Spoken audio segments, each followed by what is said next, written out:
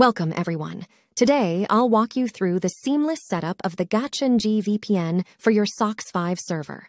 But before we dive in, don't forget to show your support by liking, sharing, and subscribing. Step 1 Preparation. If you haven't already, be sure to check out my previous video where I guide you on creating your SOCKS 5 server. It's a crucial step in this process. Step 2 GatchaNG VPN installation. Now, let's move on to the GatchaNG VPN installation.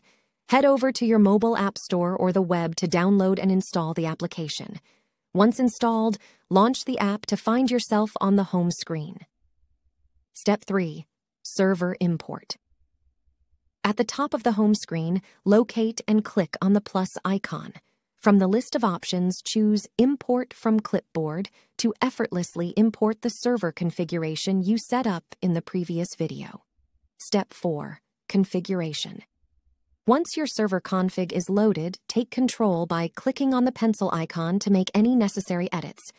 If you're keen on utilizing SNI, navigate to the SNI settings, input a valid SNI, save your settings, and return to the main screen. Step 5 connecting to VPN. The final step is a breeze. Locate the start icon at the bottom of the app screen and click it to initiate the VPN connection. There you have it, a straightforward guide to setting up GatchaNG VPN for your SOCKS 5 server. If you found this video helpful, make sure to hit that like button, share it with others, and subscribe for more tech tutorials. Thanks for tuning in.